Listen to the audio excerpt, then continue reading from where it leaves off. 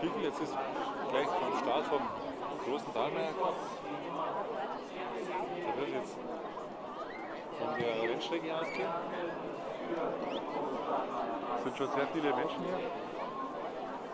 Kamerateam oben.